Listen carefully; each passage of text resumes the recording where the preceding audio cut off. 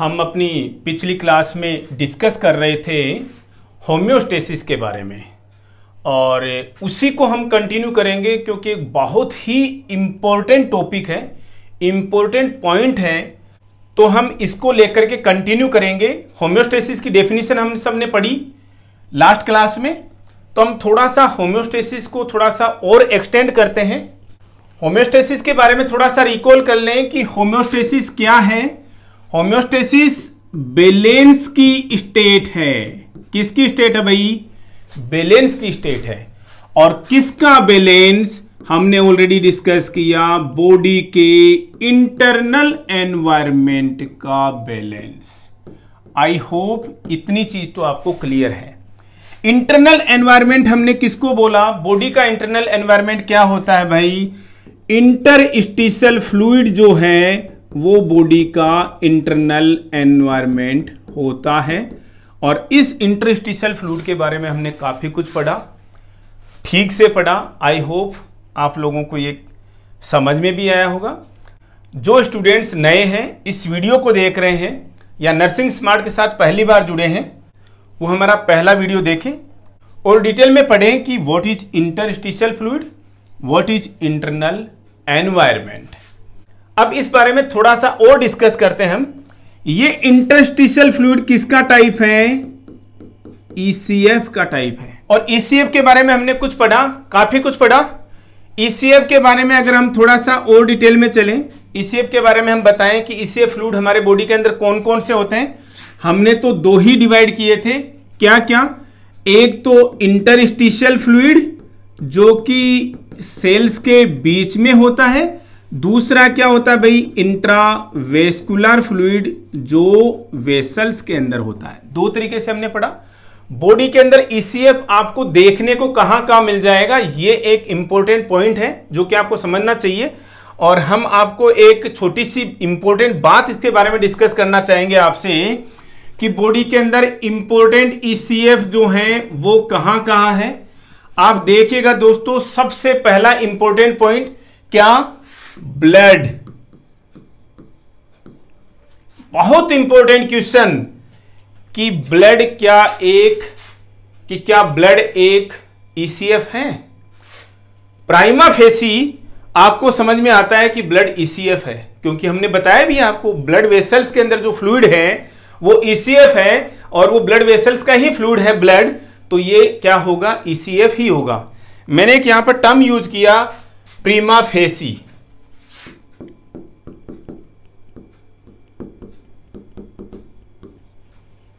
D triple S B में question आता है इसको लेकर के। What is prima facie English भाषा का शब्द नहीं है। कमेंट बॉक्स में लिख करके बताइएगा कि प्रीमा फेसी कौन सी लैंग्वेज का शब्द है। प्रीमा फेसी का मतलब होता है प्रथम दृष्टिया। मतलब पहली नज़र में। पहली नज़र में देखने से कैसा लगता है?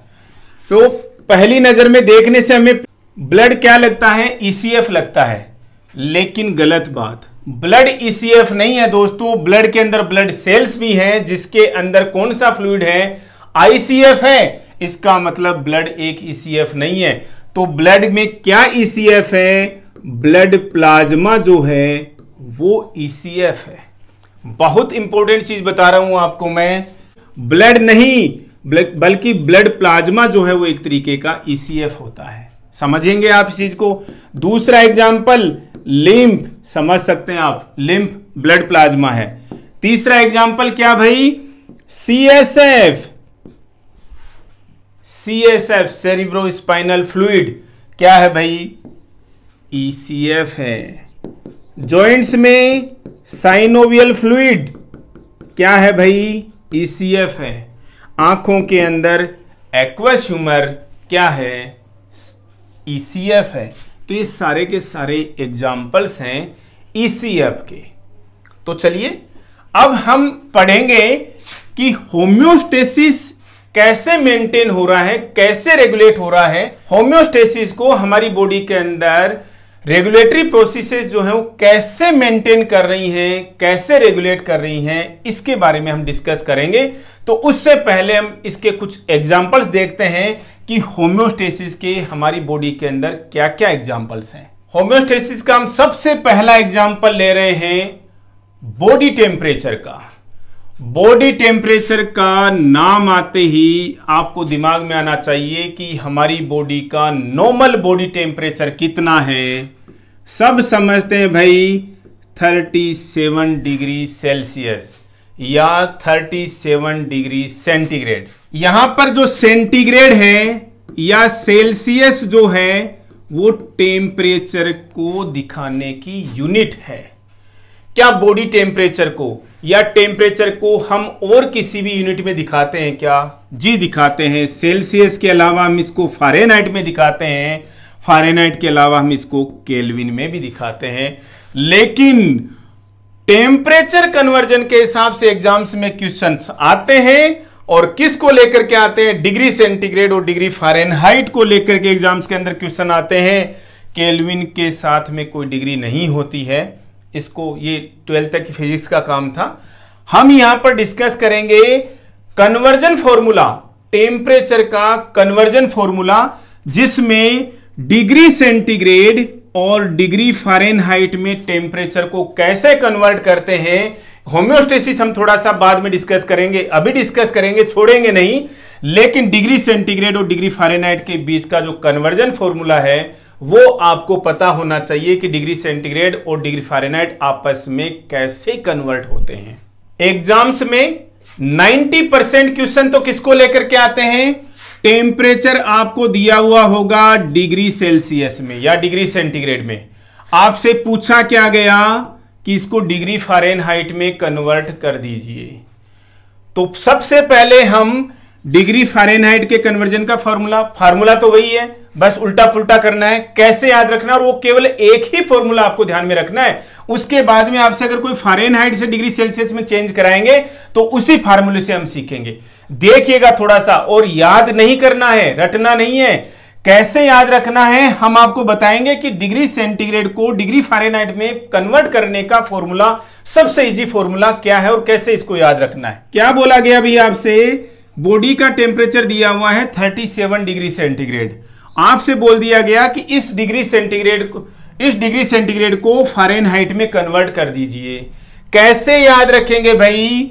Degree Fahrenheit is equal to steps दिमाग में रखना, जैसे जैसे बताते जा रहा हूँ, वैसे वैसे ही दिमाग में रखना।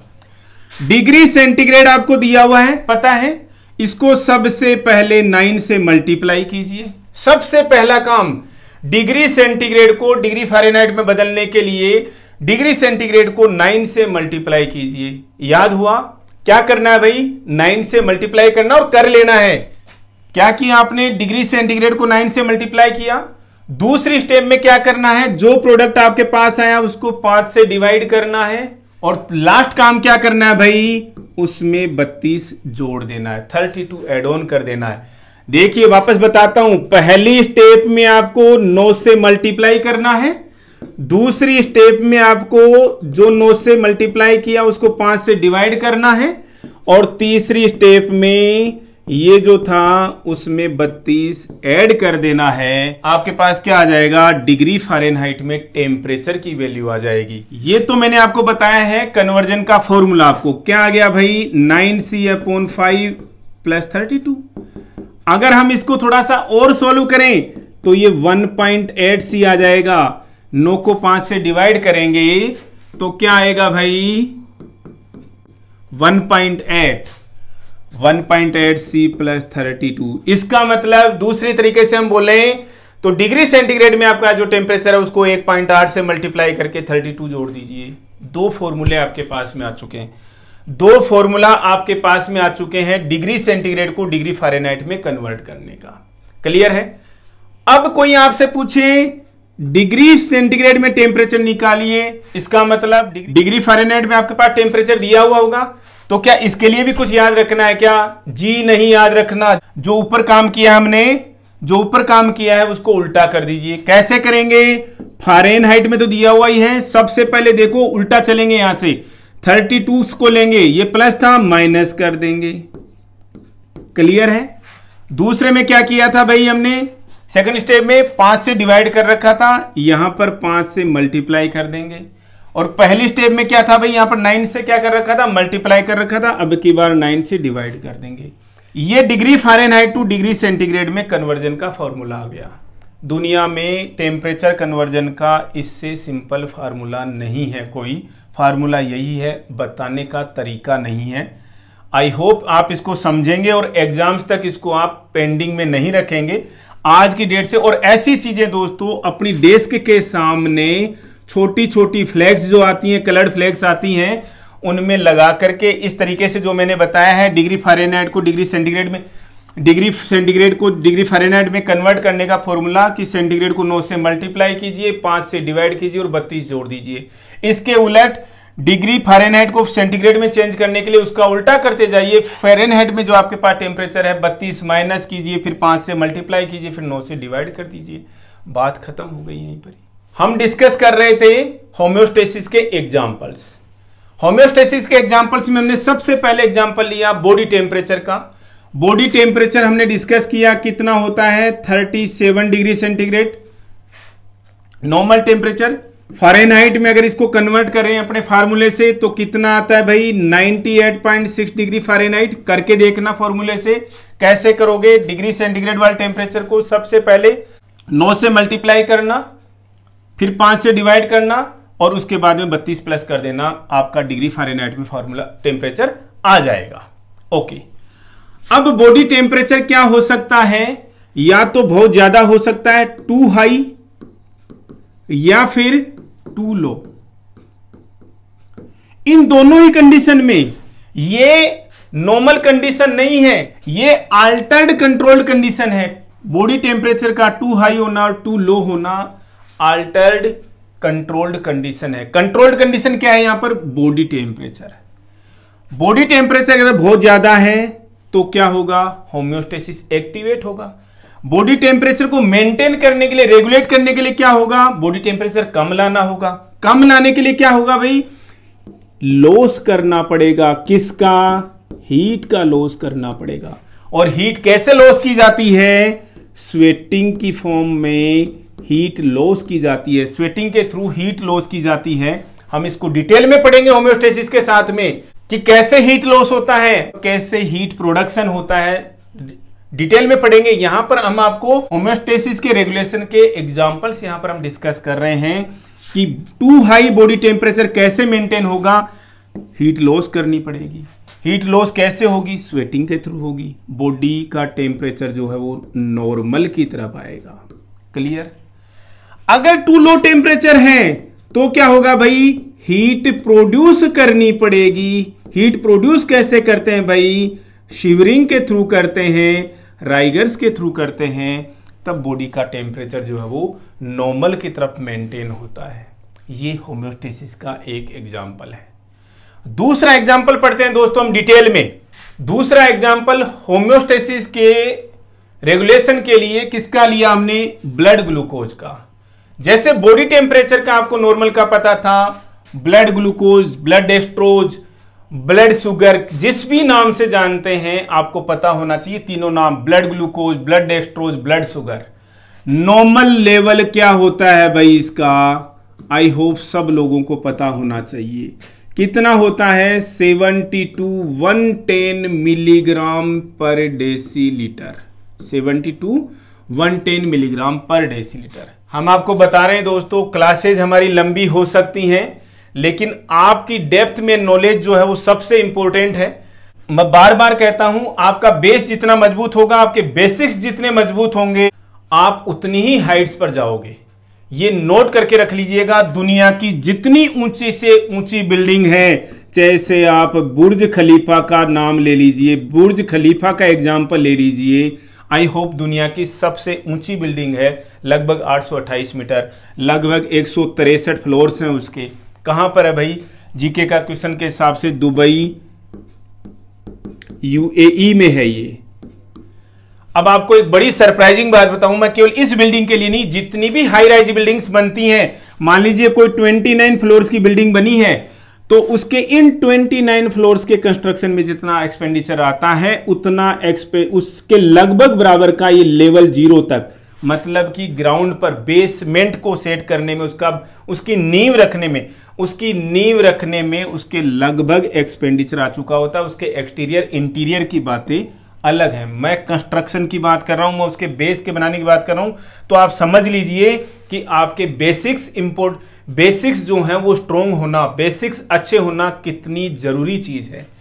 डीएल का मतलब क्या होता है भाई? डेसी लीटर आपसे कोई पूछे, एक डेसी लीटर में कितने एमएल होते हैं? तो सबसे पहले देखिए, एक लीटर के अंदर वन थाउज़ेंड एम होते हैं। आई होप सबको पता होना चाहिए। तो एक डेसीलीटर में कितने एमएल होंगे भाई? एक लीटर में वन थाउज़ेंड एम है तो एक डेसीलीटर में वन कितने एमएल होंगे? यहाँ पर देखिए, आप इसे कंपेयर कीजिए। मैंने एक लीटर एक लीटर इसके बीच में डी मैंने फंसा दिया यहाँ पर। डी का मतलब क्या था जी? डेसी। डेसी का मतलब क्या होता है? देखते जाइएगा दोस्तों ten raised to power zero ten raise to power minus one ten raise to power minus two ten raise to power minus three इनके मीनिंग क्या होते हैं? Ten raise to power zero का मतलब होता है वन यूनिट और किसी भी किसी भी डिजिट की पावर ज़ीरो का मतलब एक ही होगा हमेशा दिमाग में रखना। तो टेन की पावर ज़ीरो का मतलब एक होता है। Ten raise to power minus one का मतलब क्या होगा भाई? डेसी बोलते हैं उसको। Ten raise to power minus two का मतलब क्या होता है भाई? Centi ten raise to power minus three का मतलब क्या होता है भाई? मिली। यहाँ पर हमने क्या लिखा? डेसी तो हम एक डेसी लीटर की वैल्यू जानना चाह रहे हैं। यहाँ पर हमने डी बीच में डाला है यहाँ पर। डी की वैल्यू हम यहाँ पर भी लिखेंगे। कितनी भाई? Ten raise to power minus one आ गया हमारा आंसर क्या जी? वन थाउज़ेंड अपॉन टेन को नीचे ले जाइए। और कितना आ गया भाई? वन हंड्रेड एम एल मैं मैथमेटिक्स के बेसिक चीज़ें भी आपको यहाँ पर क्लियर करना चाह रहा हूँ। मतलब अगर कोई ये लिखे इसको 70 टू 110 मिलीग्राम पर 100 एम यानी 100 एम ब्लड में ब्लड ग्लूकोज का लेवल जो है वो 70 से 110 मिलीग्राम का होता है। आई होप चीज़ें आपको समझ में आ रही है। ये है इसकी नॉर्मल वैल्यू हम पढ़ रहे हैं यहाँ पर होम्योस्टेसिस होम्योस्टेसिस का मतलब कि भाई, अगर ब्लड ग्लूकोज का लेवल बिलो सेवेंटी आ जाए, या फिर more than one ten milligram per decilitre चला जाए, या तो बिलो सेवेंटी आ जाए, या one ten milligram per decilitre चला जाए, दोनों ही कंडीशंस में होम्योस्टेसिस रेगुलेट करेगा किसे, इस कंट्रोल्ड कंडीशन को, इस नॉर्मल रेंज में लाने के लिए। एक एक कंडीशन पढ़ेंगे दोस्तों और बहुत इंपॉर्टेंट चीज़ है। आपको यहाँ से क्वेश्चन आते हैं भाई आप लेटर ऑन भी पढ़ोगे बेसिक्स हैं आपको पता होनी चाहिए चीज़ें। पहले एग्जांपल में अगर ब्लड ग्लूकोज का लेवल पहले एग्जांपल में अगर ब्लड ग्लूकोज का लेवल मान लीजिए 110 मिलीग्राम पर डेसीलीटर से ज़्यादा हो गया। मतलब ब्लड ग्लूकोज का लेवल ज़्यादा हो गया। खाना खाया आपने ब्लड ग्लूकोज का लेवल बढ़ेगा 100 परसेंट बढ़ेगा। जो ब्लड ग्लूकोज जो ब्लड ग्लूकोज का लेवल इससे ज़्यादा है, उसका क्या किया जाता है? एक चीज़ दिमाग में रखिएगा आप हमेशा। जब भी ब्लड ग्लूकोज का लेवल ज़्यादा बढ़ेगा लीवर एक्ट करेगा। लेकिन लीवर के हाथ में ही है क्या सब कुछ? जी नहीं। कौन काम करेगा इसके साथ में? पेंक्रियाज। पेंक्रियाज क्या करेगा भाई? जो भी एक्सेस ग्लूकोज है ये पेंक्रियाज क्या रिलीज़ करेगा भाई? इंसुलिन रिलीज़ करेगा। एक्सेस ग्लूकोज को ये इंसुलिन आकर के उठाएगा और कहाँ लेकर के जाएगा? लीवर के पास में। कि साहब, ये ग्लूकोज जो है बॉडी के अंदर ज़्यादा हो रहा है, ब्लड के अंदर ज़्यादा हो रहा है। क्या किया जाए भाई इसका? इसको आप जमा कीजिए। तो कैसे करेंगे? ग्लूकोज को ग्लूकोज की फॉर्म में जमा नहीं किया जा सकता। कैसे जमा किया जाएगा, वो काम करे, वो काम होगा क्या भैया? लीवर करेगा। इंसुलिन कैरी करता है लीवर के पास में, और लीवर इसको किसमें कन्वर्ट कर देगा भाई? ग्लाइकोजन में। अब देखना कई इंपॉर्टेंट चीज़ें। अब यहाँ से इंपॉर्टेंट क्वेश्चन नोट करना आप। क्या? कि बॉडी के अंदर ग्लूकोज किस फॉर्म में स्टोर रहता है भाई? क्या ग्लूकोज ग्लूकोज की फॉर्म में स्टोर रहता है क्या? जी नहीं। किस फॉर्म में स्टोर रहता है? ग्लाइकोजन की फॉर्म में स्टोर रहता है। किसने बदला ग्लूकोज को ग्लाइकोजन में? लीवर ने बदला। किसकी हेल्प से बदला? इंसुलिन की हेल्प से बदला। ये सारी चीज़ें। अब, ग्लूकोज ग्लाइकोजन में बदल गया। इस प्रोसेस को हम क्या कहते हैं भाई? क्या बना भाई? ग्लाइकोजन। ग्लाइकोजन बनने की प्रोसेस ग्लाइकोजिनेसिस। क्लियर है? क्वेश्चंस देखते जाना अब यहाँ पर। ग्लूकोज को जब ग्लाइकोजन में बदल दिया गया तो ब्लड ग्लूकोज का लेवल कम हुआ कि ज़्यादा हुआ? कम हुआ कि ज़्यादा हुआ भाई? ग्लूकोज का लेवल ब्लड के अंदर क्या हो गया भाई? कम हो गया। इसका मतलब इसका मतलब इंसुलिन ब्लड ग्लूकोज का लेवल कम करने का काम करता है। क्लियर है? आई होप आप लोगों को ये चीज़ें समझ में आनी चाहिए। जब कभी भी ब्लड ग्लूकोज का लेवल ज़्यादा गया, कैसे मेंटेन हुआ?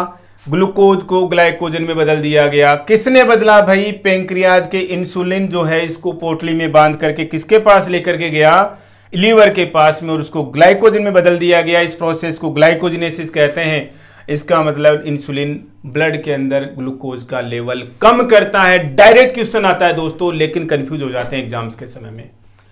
डायरेक्ट क्वेश्चन आता है एग्ज़ाम्स में, लेकिन फिर कंफ्यूज हो जाते हैं कि यार इंसुलिन क्या करता है ग्लूकोज कम करता है कि ज़्यादा करता है? दूसरा एग्ज़ाम्पल देखिए इसका भाई, अगर ब्लड ग्लूकोज का लेवल 70 मिलीग्राम पर डेसीलीटर से कम हो गया तो तब क्या करेंगे भाई?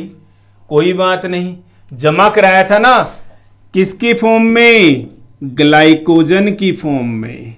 ले आते हैं वहाँ से वापस। भाई बैंक में पैसे जमा करा के आते हो तो वो आपको ऐसे दे देता है क्या?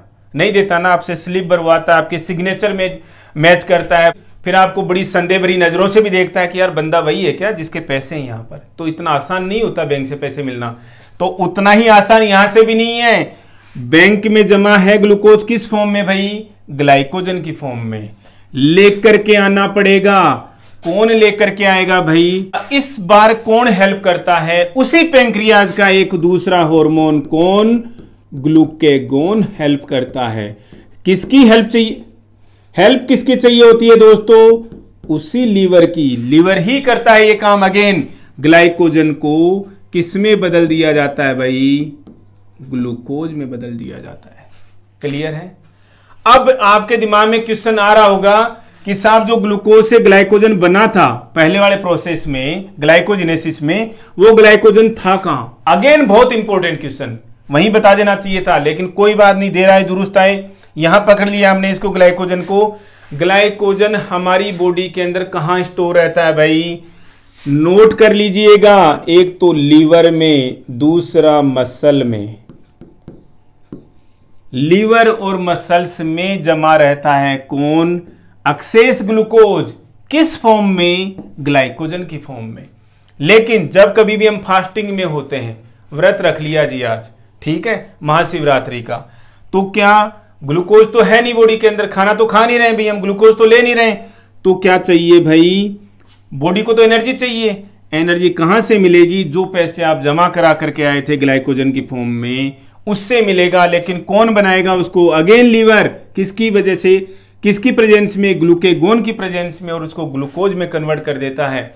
अब आप इस चीज़ को यहाँ पर समझिएगा। पहले तो ग्लाइकोजन बन रहा था तो हमने प्रोसेस को क्या बोला था? ग्लाइकोजिनेसिस अब ग्लाइकोजन टूट रहा है तो इस प्रोसेस को हम क्या बोलते हैं भाई? ग्लाइकोजन तो है ही ग्लाइकोजिनोलाइसिस समझ में आ रही है चीज़ें आई थिंक आप लोगों को? ये हो रहा है होम्योस्टेसिस मेंटेन पहली कंडीशन में 110 से प्लस चला गया लोअर किया गया ब्लड ग्लूकोज को मेंटेन करने के लिए। दूसरी कंडीशन में कम आ गया, बढ़ाया गया किस प्रोसेस के थ्रू ग्लाइकोजिनोलाइसिस के थ्रू होम्योस्टेसिस का तीसरा एक एग्जांपल देखते हैं, बहुत ही इंपॉर्टेंट कि कैसे होम्योस्टेसिस मेंटेन हो रहा बॉडी के अंदर। सिंपली केवल आपको लोगों को केवल एग्जाम्पल्स नहीं बता रहे यहाँ पर बहुत इंपॉर्टेंट इंपॉर्टेंट चीज़ें आप लोगों के साथ में डिस्कस करेंगे। ब्लड कैल्शियम लेवल का नाम है, बेटर से सीरम कैल्शियम लेवल। पता होना चाहिए, नॉर्मल सीरम कैल्शियम लेवल कितना होता है? कितना होता है भाई नॉर्मल सीरम कैल्शियम लेवल? साढ़े आठ से लेकर के टेन पॉइंट टू यूनिट क्या है? अगेन वही मिलीग्राम पर डेसीलीटर। एग्ज़ाम्स का बहुत इंपॉर्टेंट क्वेश्चन है।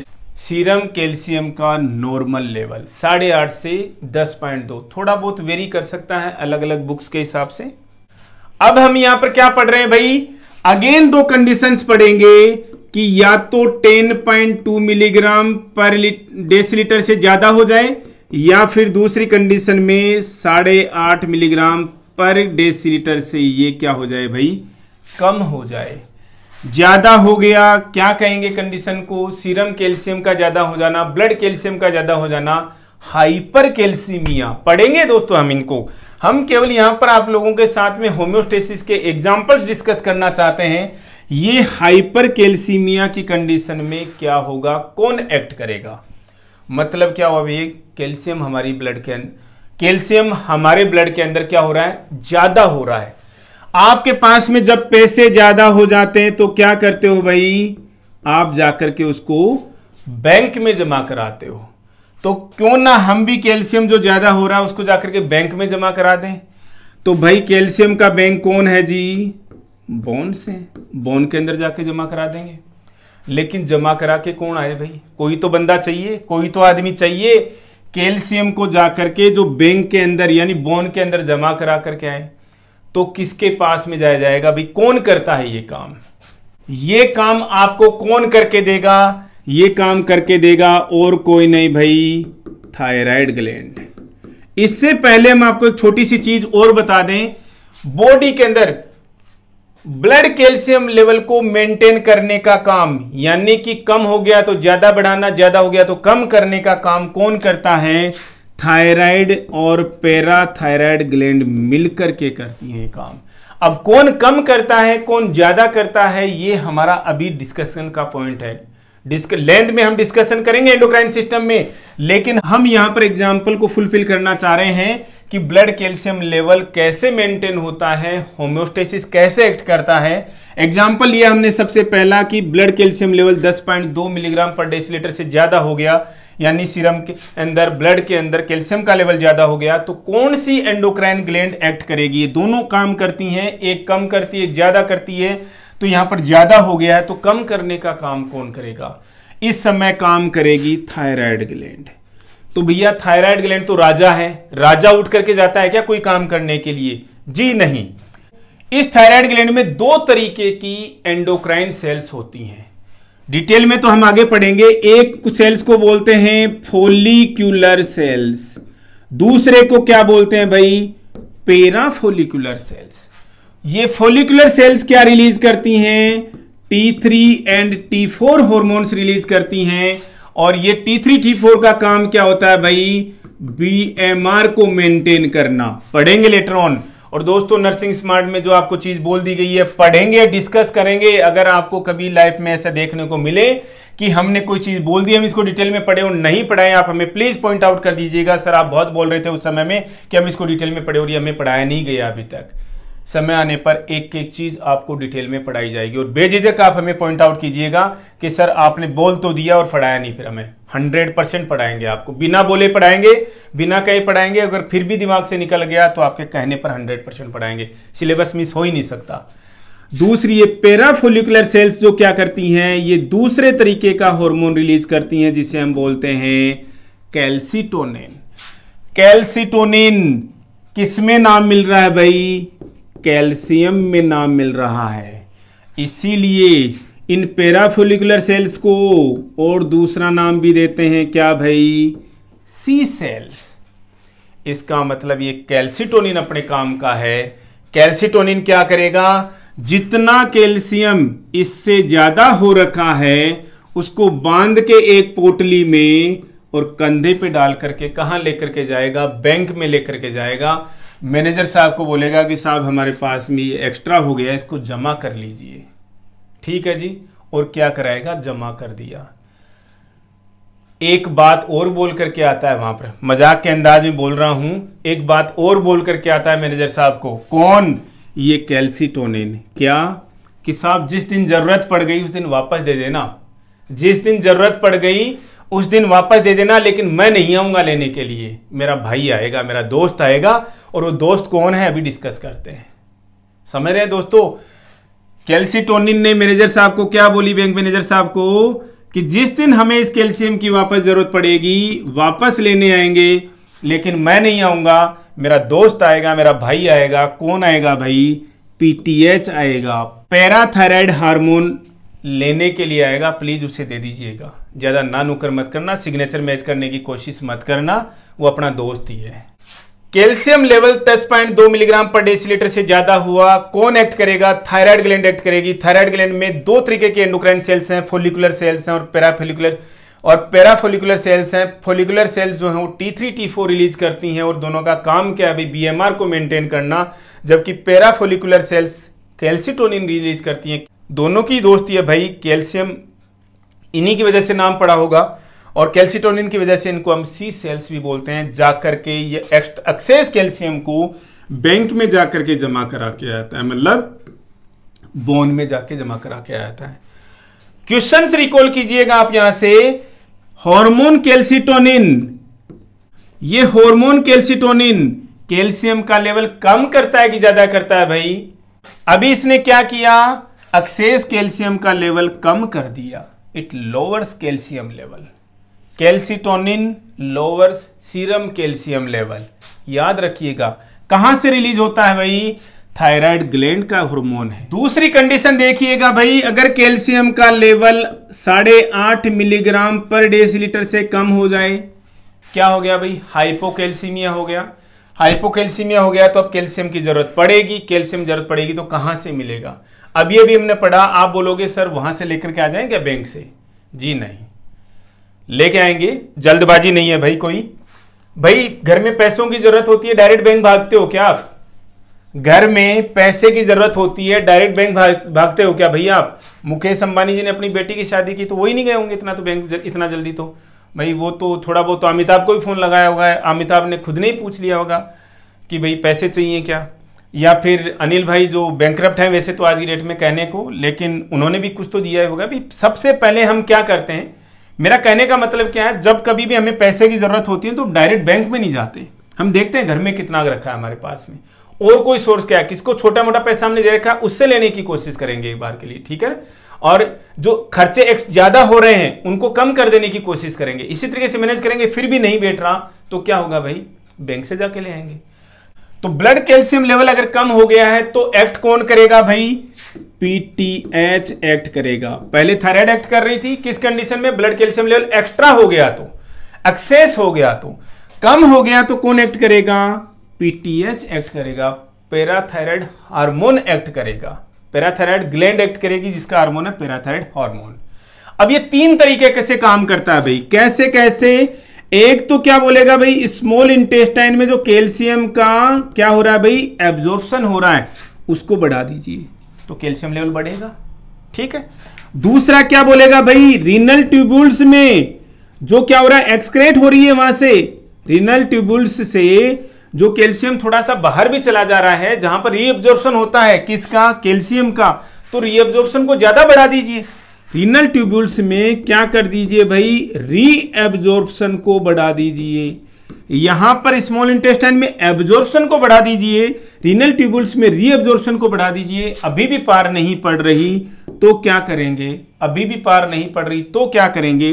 फिर बैंक के पास में जाएँगे बोन के पास में जाएँगे और बोलेंगे कि साहब हमारा क्या दे दीजिए? जो आपके पास में कैल्शियम जमा था, वो दे दीजिए। अब दोस्तों समय का फेर देखिए दोस्तों, इस पीटीएच का भाई, कौन भाई? कैल्सीटोनिन, इसकी मौसी का लड़का। पीटीएच की मासी के लड़के ने जाके मैनेजर साहब को क्या बोला था कि मेरा भाई आएगा और क्या जब कभी भी आपसे कैल्शियम वापस मांगे तो दे दीजिएगा। लेकिन हुआ क्या समय का फेर देखिए, मैनेजर साहब ने मना कर दिया, मैं आपको नहीं पहचानता। तो पीटीएच क्या करता है भैया? कृष्ण जी और बलराम देखे दोस्तों आपने? श्री कृष्णा सीरियल देखते थे महाभारत में तो थोड़ा सा कम ही पार्ट था। बलराम बड़े अग्रेसिव कैरेक्टर मतलब एग्रेसिव टाइप के कैरेक्टर रहे हैं तो हमेशा वो तोड़फोड़ की बात करते थे। मैनेजर साहब ने मना क्या कर दिया? ये इन्होंने क्या किया भैया? कैल्शियम तो लेकर के जाऊँगा मैं। और किसको? बोन को तोड़ करके लेके जाऊँगा दोस्तों। बोन को तोड़ देंगे तो फ्रैक्चर हो जाएगा ना। बोन की सेल्स को तोड़ करके लेकर के जाऊँगा और बोन की सेल्स को तोड़ने की एक्टिविटी को हम क्या बोलेंगे दोस्तों? Osteoclast activity. Osteoclast activity. Bone की सेल्स को तोड़ करके कैल्शियम वहाँ से निकाल करके लेकर के आता है। भाई की बात नहीं मानी। मैनेजर साहब अपने वायदे से मुकर गए तो बोन को तोड़ करके लेकर के आता है, कौन भाई? पीटीएच क्लियर है? ये तीसरा तरीका है। पहला तरीका स्मॉल इंटेस्टाइन से एब्जॉर्प्शन को बढ़ाया रीनल ट्यूब्यूल से रीअब्जॉर्प्शन को बढ़ाया, नहीं बात बनी, अभी भी पैसे कम पड़ गए, अभी भी कैल्शियम लेवल मेंटेन नहीं हो पा रहा, साढ़े आठ के लेवल तक नहीं पहुँचा तो बोन के साथ से वापस लेकर के आएगा, और किस तरीके से बोन की सेल्स को तोड़ करके ओस्टियोक्लास्ट की एक्टिविटी से? क्यों भाई? सेल्स को क्यों तोड़ा? मज़ाक की बात है। मैनेजर साहब ने मना कर दिया। हम नहीं पहचानते आपको, हम नहीं देंगे आपका कैल्शियम वापस। तो वहीं से तोड़ फोड़ करके वापस लेकर के आया। कौन? पीटीएच पीटीएच ने क्या किया भाई, जनरली? पीटीएच ने कैल्शियम के लेवल को बढ़ाने का काम किया। कितने तरीकों से कर सकता है ये? तीन तरीकों से कर सकता है। डिस्कस किया हमने ऑलरेडी ये होता है होम्योस्टेसिस। होम्योस्टेसिस का तरीका। स्क्रीन पे आप एक जनरल क्वेश्चन देख सकते हैं, क्या लिखते हैं? What happens when there is a change in composition of interstitial fluid हमने देखो दोस्तों बार बार स्टडी किया कि इंटरस्टिशियल फ्लूड इसकी कंपोजिशन में चेंज हो गया तो क्या होगा? इंटरस्टिशियल फ्लूड क्या है भाई? इंटरनल एनवायरमेंट है। समझ गए आप? इंटरनल एनवायरमेंट में चेंज हो गया इसका मतलब बैलेंस की स्टेट जो है, वो क्या हो गई भाई? नहीं रही। बैलेंस की स्टेट नहीं रही तो क्या हुआ भैया? होम्योस्टेसिस जो है वो डिसरप्ट हो गया। डिसरप्ट हो गया तो बॉडी या उस पर्टिकुलर ऑर्गन का फिजियोलॉजी में क्या होगा भाई? चेंजेज आएगा अल्ट्रेशन आएगी और उस ऑर्गन की या बॉडी की इलनेस होगी। ठीक है? ये जनरल चीज़ मैंने यहाँ पर लिखी है कि भाई इंटरस्टिशियल फ्लूड की कंपोजिशन में अगर चेंज होगा तो क्या होगा? इंटरस्टिशियल फ्लूड ही क्या है? इंटरनल एनवायरमेंट है और इंटरनल एनवायरमेंट में की कंपोजिशन में ही चेंज आ गया मतलब बैलेंस चेंज हो गया। बैलेंस की स्टेट अब नहीं रही बैलेंस की स्टेट नहीं रही तो होम्योस्टेसिस डिस्टर्ब हो गया। होम्योस्टेसिस के डिस्टर्ब होने को ही हम क्या कह देते हैं? भी इलनेस कह देते हैं, क्योंकि अब ऑर्गन की फिजियोलॉजी है, वो चेंज हो गई है। अब हम डिस्कस कर रहे हैं बार बार होम्योस्टेसिस होम्योस्टेसिस होम्योस्टेसिस अब ये होम्योस्टेसिस रेगुलेट कैसे होता है भाई? इस होम्योस्टेसिस को रेगुलेट कौन करता है? हमारी बॉडी में इस होम्योस्टेसिस को रेगुलेट करने का काम दो बड़े सिस्टम्स करते हैं। ध्यान में रखिएगा, बहुत इंपॉर्टेंट चीज़ है। होम्योस्टेसिस कौन रेगुलेट करता है हमारी बॉडी के अंदर? एक एंडोक्राइन सिस्टम तो दूसरा कौन भाई? Nervous system.